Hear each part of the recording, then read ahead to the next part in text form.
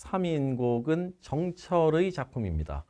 어, 선생님이 삼인곡을 한 20여 년 가르친 것 같습니다. 근데 가르칠 때마다 드는 느낌이 예, 정철이라는 사람 참 대단하다.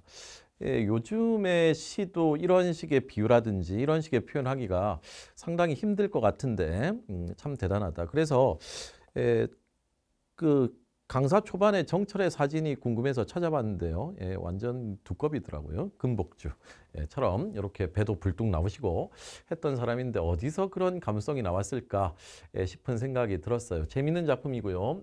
예, 문학사적 의도 예, 상당히 뛰어난 작품입니다.